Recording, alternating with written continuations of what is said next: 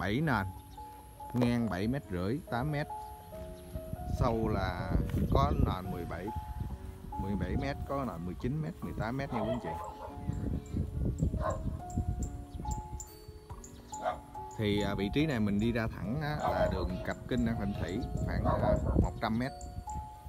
Đường nó đường nhựa nha quý anh chị. Rồi mình rẽ phải, mình về à, thị xã Gò Công. Và rồi mình rẽ trái, mình về Gò Công Tây nha quý anh chị còn nếu mình à, đi trên đường đó có con đường nhựa đó thì à, mình ra quốc lộ 50 khoảng 200 mét nữa. Thì ở đây gia chủ bán cho mình là ba trăm rưỡi một nền. Có mỗi mỗi nền có 100 thổ cư.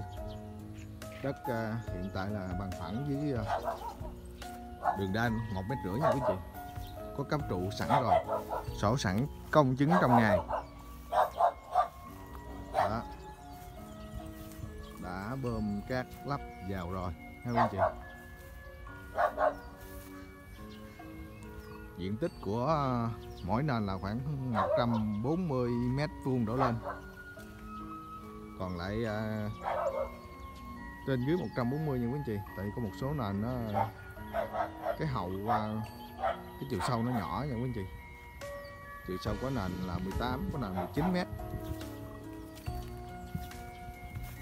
Thì vị trí này mình về trung tâm của thị xã Gò Công.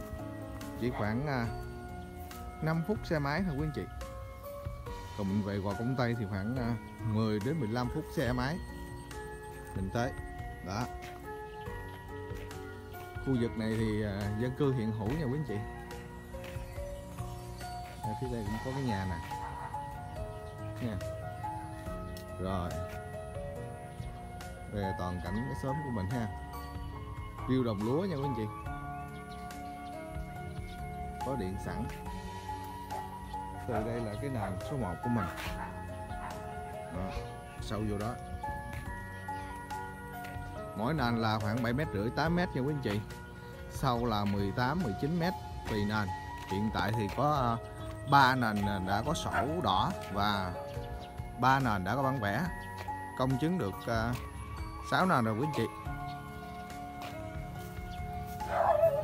350 triệu cho một nền. Mỗi nền có 100 thổ cư. Đó. đường này đường thông một mét rưỡi. Địa chỉ là ở ấp Thịnh Phong, xã Yên Luông. Ở đây mình gần à, với à, quốc lộ 50 từ thành phố Hồ Chí Minh mình về đây tầm khoảng một tiếng rưỡi là mình tới nha quý anh chị. Từ à, em tính từ giao lộ Nguyễn Linh cắt đi lá quốc lộ 50 quý anh chị đó.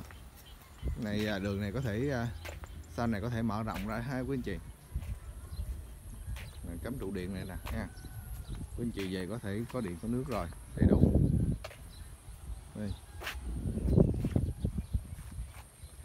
rồi quý anh chị nào mà à, có tài chính ít á thì những cái lô đất này à, phù hợp với à, quý anh chị à, ở ha. Xây nhà để ở nè. Rồi à, quý anh chị nào mà ở à, gần à, công ty à, thị xã Gò Công đó gần thị xã Gò Công đó, thì khu vực này cũng thích hợp cho quý anh chị luôn. Đó. 350 triệu một nền. Rồi em xin nhắc lại địa chỉ là ở Yên Luông nha quý anh chị. Giáp ranh với thị xã Gò Công. Tiện ở xung quanh khoảng một cây đến hai cây số là mình tới ha. Chợ trường học rồi em xin à, kết thúc video. Hẹn à, quý anh chị ở những video tiếp theo của kênh ạ.